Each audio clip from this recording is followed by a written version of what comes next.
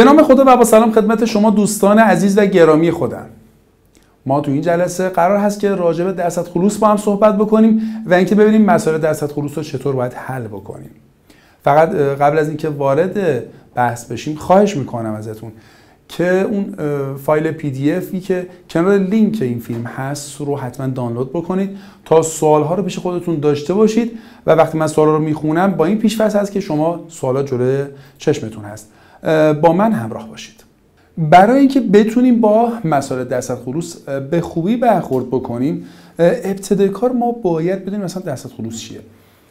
برای بحث درصد خلوص ما باید اینو بدونیم که خب خیلی از مواد وقتی وارد یک کارخونه میشن که تو واکنش ها شرکت بکنن بچه معمولا خالص نیستن. یه مقداری ناخالصی همراه اینها وجود داره. که معمولا برای اینکه بفهمیم چند درصد اینها ناخالصه چند درصد خالصه یک رابطه یا یک تعریفی رو داریم. به نام درصد خلوص. درصد خلوص از اسمش پیداست. یعنی که تو صد تا چه مقدار ماده خالص وجود داره؟ و رابطه و فرمولش رو ما می‌تونیم به این شکل بیان بکنیم. داریم درصد خلوص برای یک ماده میشه مقدار ماده خالص به مقدار ناخالص ضرب در صد. ماده ناخالص یعنی چی؟ خب ماده ناخالص معمولا به این شکله. ما یه مقدار ماده خالص همیشه داریم توی ضعفمون و یه مقدار ناخالصی. این دوتا رو همدیگه میشن مقدار ناخالص و حتما باید بدونیم که ناخالصی هم یعنی چی؟ خب به طور مثال اگر به ما بگن که درصد خروس یک ماده 80 درصده یعنی چی؟ یعنی به ازای هر 100 گرم ناخالص ما 80 گرم خالص داریم و 20 گرم ناخالصی. و این نکته رو باید بدونیم. خیلی خیلی این نکته نکته مهمیه که در مسائل درصد خلوص اگر ما بخوایم روابط استوکیومتری رو داشته باشیم و وارد کسرها بکنیم و محاسبات استوکیومتری انجام بدیم یک ماده فقط و فقط با مقدار خالص وارد محاسبات استوکیومتری خواهد شد. و اگر یک موقعی من مقداری رو از تو محاسبات استوکیومتری به دست آوردم حتما این مقدار مقدار خالص هست. خواهش می‌کنم به این نکته خیلی توجه بکنید. چون تو مسائل فقط همین نکته رو بدونیم دیگه کار تمام و مثل دیگه مثلا مولی مولی جمی جمی میشه که ما جلسه قبل با هم مرور کردیم. به مثال اول توجه بکنید. میگه از تجزیه کامل 56 و 75 گرم نیتروگلیسرین 80 درصد خالص چند مول گاز در شرایط عمل آزاد میشه؟ خب ما اگر بخوایم این مسئله رو حل بکنیم وقتی میگه 56 و 75 گرم نیتروگلیسرین 80 درصد یعنی چی؟ وقتی برای یک ماده درصد خروس بچا دارن بیان می‌کنن یعنی اینکه ماده ناخالصه. و حتما باید مقدار خالصش حساب بشه و بعد وارد واکنش بشه. بنابراین من اگر بخوام این مسئله رو حلش بکنم میشه 56 و 75 گرم نیتروگلیسرین حالا با نیتروگلیسرین این شکلی نمایش میدم. که ناخالص هست. می‌خوایم ببینیم معادل با چند مول گازه. رابطه بین این دوتا رو خب به طور مستقیم که نداریم. اینم گرم حواسمون هست. و اگر ما گازها رو در نظر بگیریم ببینید توی واکنش اگر دقت بکنید 12 تا CO2 داریم 10 تا H2O 6 تا N2 و یه دونه O2 رو همگه 29 مول گاز داریم می‌بینیم. و اگر بخوایم بین این گازها و نیتروگلیسرین ارتباط برقرار کنیم اینو فقط با مول ارتباط دارن. و خب این رو باید بدونیم. ما اینجا 56 و 75 گرم نیتروگلیسرین ناخالص داریم و نمی‌تونیم این مقدار رو وارد استوکیومتری بکنیم. ابتدای کار من میام با استفاده از فرمول درصد خلوص. یه بار تکرار کنم. درصد خلوص چی بود؟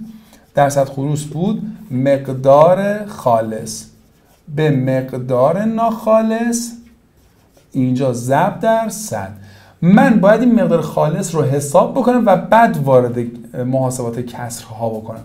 درصد خروس به من گفته 80 درصده. مقدار ماده ناخالص قبلا فهمیدم. هست 56 و 75 گرم. این x رو می‌خوام به دست بیارم ضرب در 100 خب من برای اینکه بتونم مقدار رو به دست بیارم ظاهرا اینه که من از ماشین حساب استفاده کنم.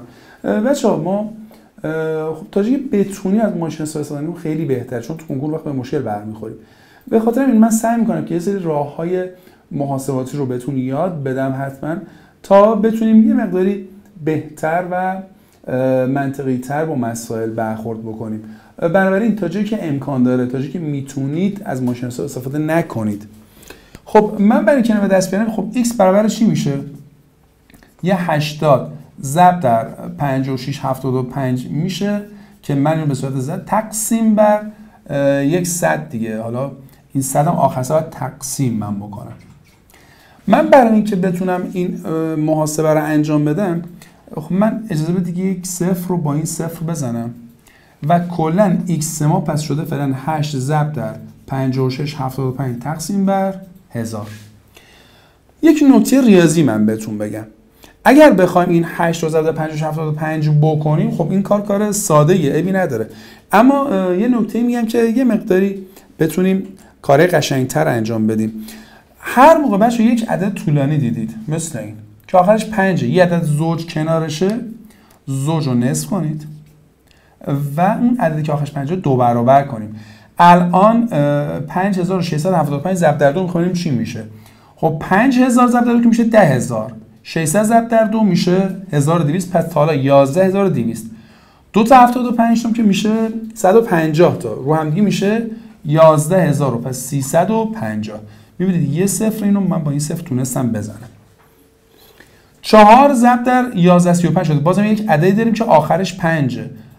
من این چهار رو نصف می‌کنم. میشه دو. دو برابر کنم میشه 2270 می‌بینیم الان پس این صفر هم من می‌تونم با این صفر ساده بکنم. دیگه دو ضرب در 227 رو ما خواهیم داشت. و اصلا نیاز به محاسبه نیست. میگه دو ضرب در 227 تقسیم بر 10 اینو دیگه خیلی راحت میشه باش کنار اومد. دو ضرب در 227 خب دو تا 27 میشه 54 تا. اینم که چرا میشه 454 تقسیم بر 10 که میشه 45 و 4 دهم گرم نیتروگلیسرین پس من فهمیدم 45 و 4 دهم گرم نیتروگلیسرین دارم که این مقدار خالص هست. و حالا میریم سراغ این که این رو به مول گازها تبدیل کنیم. شروع می‌کنم. 45 و 4 دهم گرم نیتروگلیسرین دارم. من برای اینکه به مول گاز برسم باید این به مول تبدیل بکنم. خب برای اینکه به مول تبدیل کنیم باید جب مولی رو بدونیم. حواسمون هست دیگه. نیتروگلیسرین C3 H5 NO3 سه مرتبه است که اگر حساب کنم میشه 227 که حالا برای روش حساب کردن که جلسه پیش راجعش صحبت کردیم. خب هر 227 گرم نیتروگلیسرین معادل یک مول نیتروگلیسرین هست.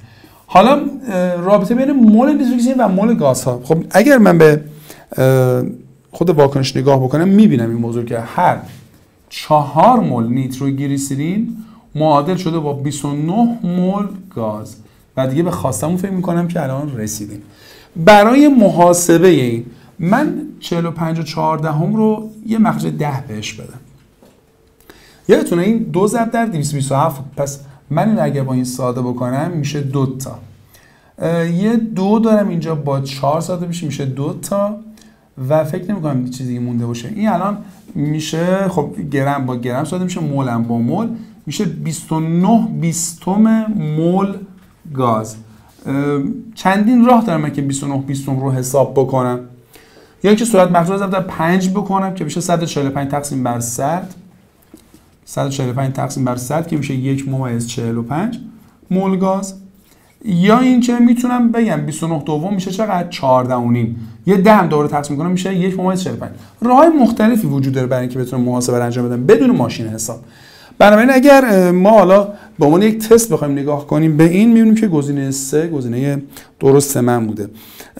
این رو بهتون بگم که ما روش تستمون خیلی متفاوت است با روشی که حل کردیم. ما الان ما خب قسم که برای امتحان ما آماده بشیم و خب از همین روش ها معلم محترمتون می‌خوان که استفاده بکنید. ولی اینو بدونید که ما با روش تستی که وجود داره خیلی می‌خواد طول بکشه این مسئله. دیگه حد حد دیگه مثلا چیز حدود 35 40 ثانیه طول خواهد کشید. که حالا برای اینکه با روش تستی آشنا بشیم هم می‌تونیم به خب قسمت بچه پیش دانشگاهی شما مراجعه بکنید و ببینید که روش تستی به چه شکل است همین که می‌تونیم منتظر باشیم که یه مقداری که از برنامه ما بگذره روش تستی سعی می‌کنم که کم کم براتون شروع بکنم. بریم سراغ مثال بعد. خب سوال دوم میگه در واکنش ترمیت. من واکنش ترمیت رو بنویسم چه شکلی هست. که در واکنش ترمیت ما Fe2O3 رو داریم که با AL ترکیب میشه. حاصلش میشه AL2O3 و Fe که این حالتش جامده یه دوشم بذارم این جامد و اینجا هم جامد این حالت لیکوید داره و دو. یعنی آهن مذاب پدید میاد. بسیار خوب. میگه اگر 20 گرم آهن سه اکسید با خلوص 80 درصد مصرف شود چند گرم فرآورده این مذاب تولید می شود خب الان می‌خوایم ببینیم که 20 گرم داریم. Fe2O3 هم هست که ناخالصه. معادل با چند گرم فرآورده مذاب تو اینا چی هست؟ خب Fe. خب مقدار ناخالص رو ما اینجا داریم. اول باید به خالص تبدیلش کنم و بعد وارد محاسبات استوکیومتری بکنم. دیگه من رابطه تصد خروش رو نمی نویسم 80 درصد است. مقدار خالص نمی‌دونیم چقدر ناخالص چقدر 20 گرم. خودش گفته که 20 گرم با خلوص 80 درصد پس مقدارش ناخالص بوده. ضرب در صد رو خواهیم داشت. من این صفر رو با این صفر ساده می‌کنم. 5 و 2 هم, هم ساده می‌کنم که حاصل بشه 5 5 با 8 هم که میشه 16 پس x من مقدار 16 گرم مقدار خالص Fe2O3 خواهد بود. بریم سراغ حالا محاسبات استوکیومتریمون من از 16 گرم Fe2O3 خالص می‌خوام برسم به گرم Fe خب دیگه جرمی جرمی عادی شد. 16 گرم داریم Fe2O3 بعد اول به مول تبدیلش کنم. جرمولش رو حساب کنیم Fe2O3 میشه 160 هر 160 گرم Fe2O3 معادل با یک مول Fe2O3 خواهد بود. حالا باید طبق معادله از Fe2O3 برسیم به Fe Fe2O3 هر یک مولش دو مول Fe پس هر یک مول Fe2O3 معادل شده با دو مول Fe و اینجا چون گرم Fe رو می‌خواد پس یک کس دیگه داریم که هر یک مول Fe جمع مولش 56 56 گرم Fe خواهد بود. خب الان اگر بخوام یک محاسبه این رو انجام بدیم چی رو اول با چی ساده بکنیم؟ بیا این رو دقیق تر ما کنیم. ببینید الان گرم Fe2 با این گرم ساده میشه. مولش با مول اینم مول با مول. 16 با 160 میشه 10 تا. و چیز دیگه نمونده این ده مخرج معمولا ارزش داره. ساده نمی کنم دو ضرب در 56 میشه 112 تقسیم بر 10 پس میشه 11 و 2 دهم گرم اف چون فقط گرم اف اینجا مونده. بنابراین تو گزینه اگه بررسی بخوام بکنم گزینه دو گزینه درست بوده. بازم دارم میگم ما داریم تشریحی حل می‌کنیم و فقط جواب آخر رو تو گزینه پیدا می‌کنیم. فکر نکنید که ما داریم تستی حل می‌کنیم. تستی حل کردن گفتم انقدر زمان نمی‌بره. و خیلی سریعتر ما می‌تونیم باش کنار بیایم.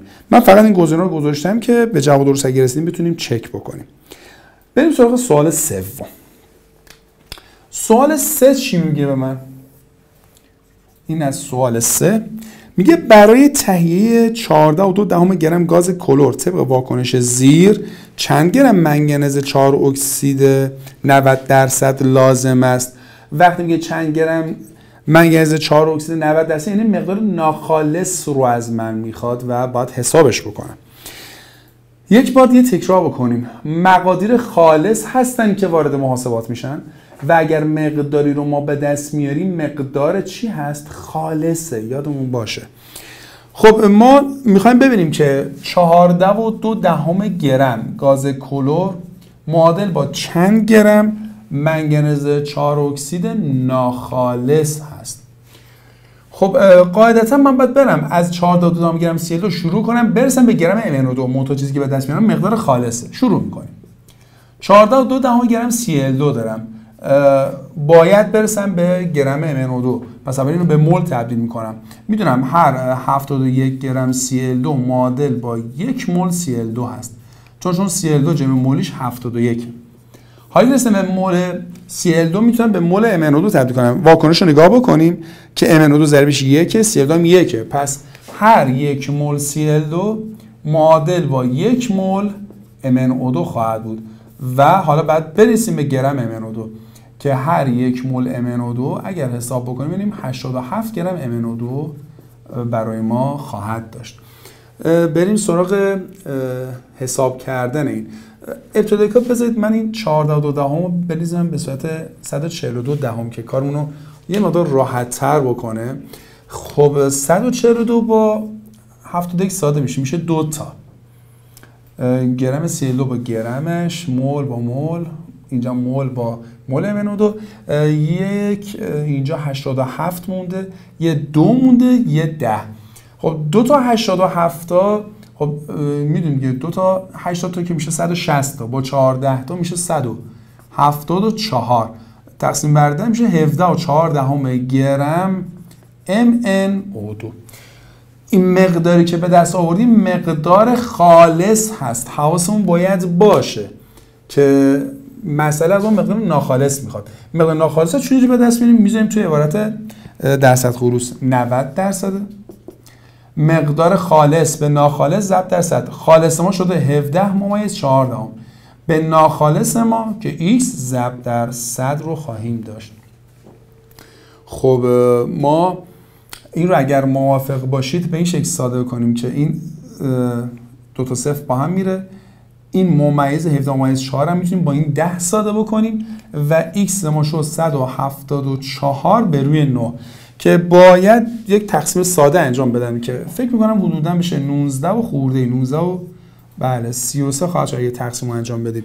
که گزینه یک رو می‌تونیم به عنوان گزینه درست الان بگیم و عدد دقیقا همین خواهد بود.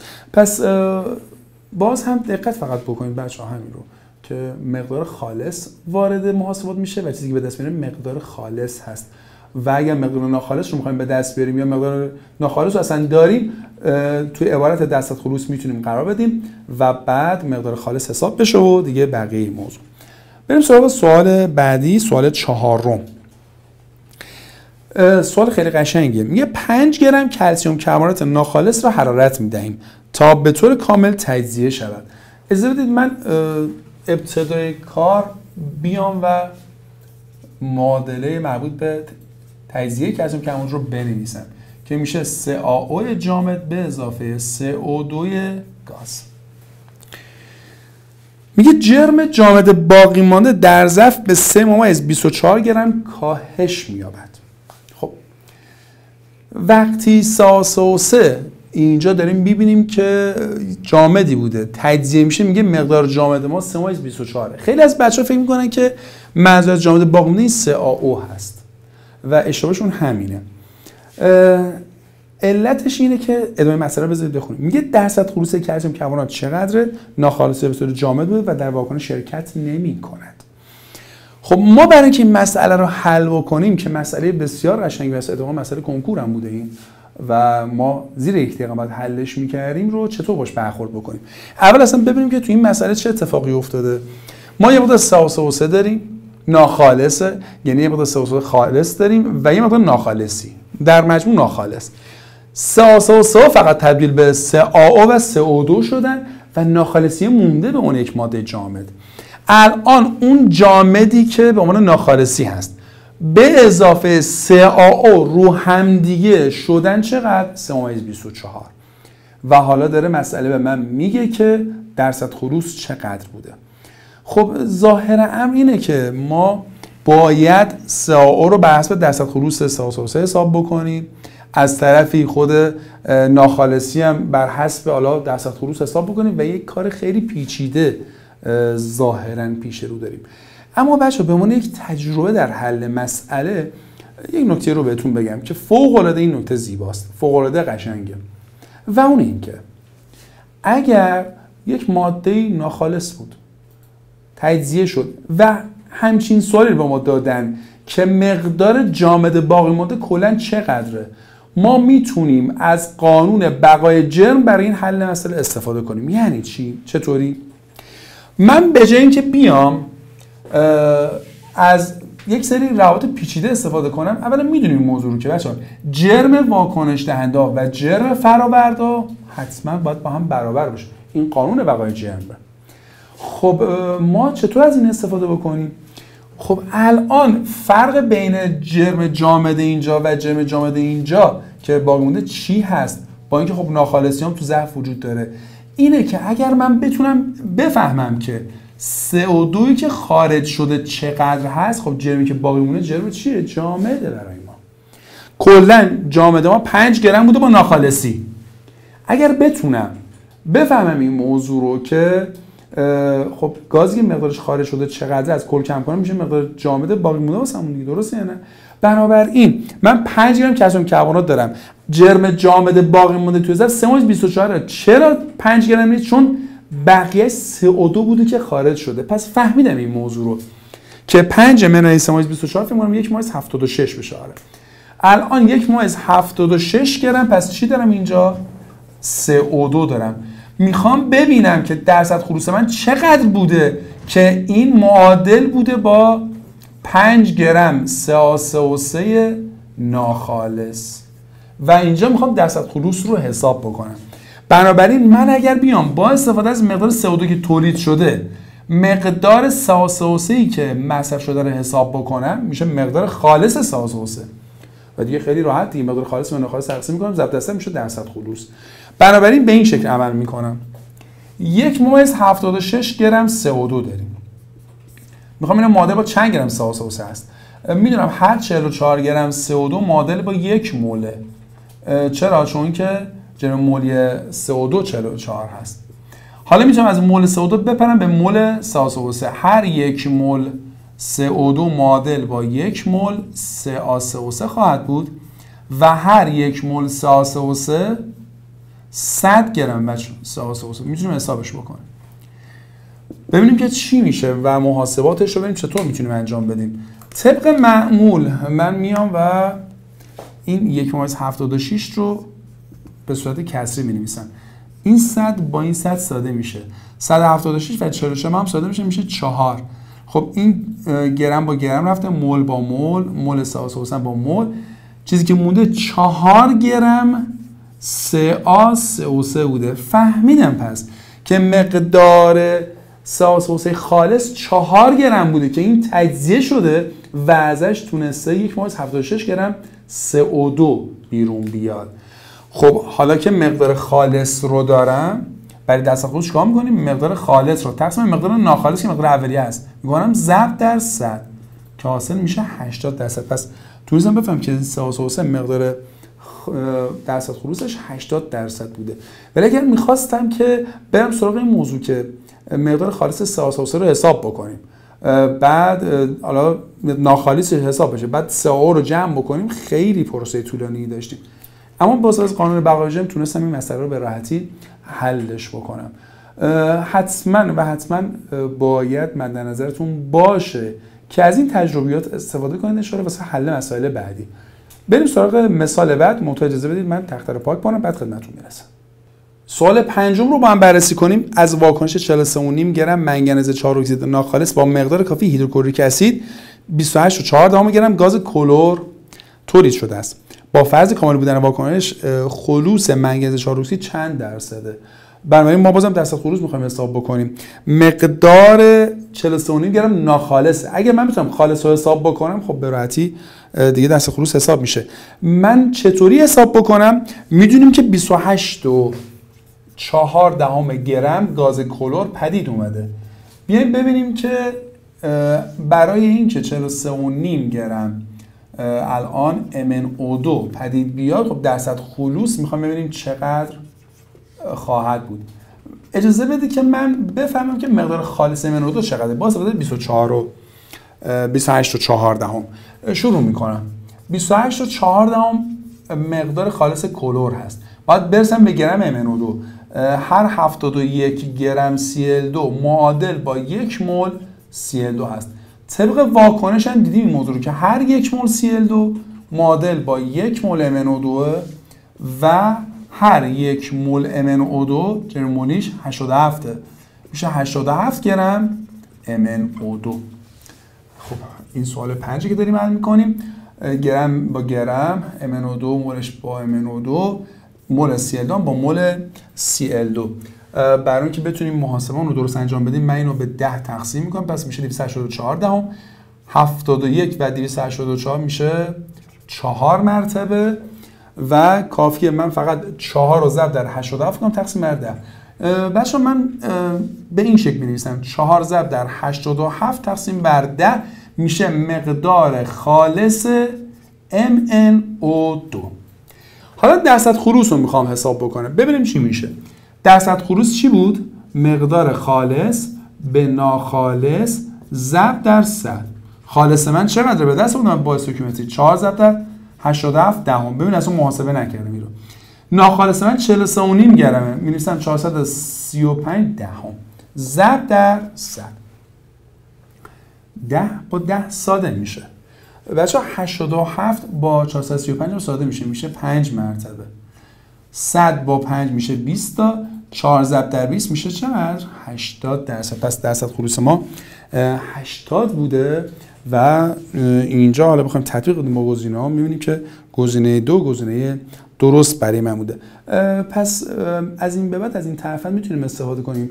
امیدوارم که حالا دبیر شما خیلی غلط نگیرن. که معمولا چون این اعداد با هم ساده میشن می‌تونیم دست نخورده بذاریمشون و وارد حالا مقادیر فرمولی درصد خروس بکنیم. اما اگر احساس کنیم نه اعداد اعداد است که خب بدون محاسبات اولیه چیده شده و همینجوری اعداد رو بتون دادن خب دیگه چاره جزی نداریم که بریم سراغ اینکه روش های عادی رو برای محاسبات داشته باشیم. اما تو کنکور این خبران نیست. تو کنکور اعداد کاملا محاسبه شده است کاملا دقیقا. و همه با هم ساده خواهند شد. که وقتی وارد قسمت تستی شدید کاملا این رو درک انشالله خواهید کرد.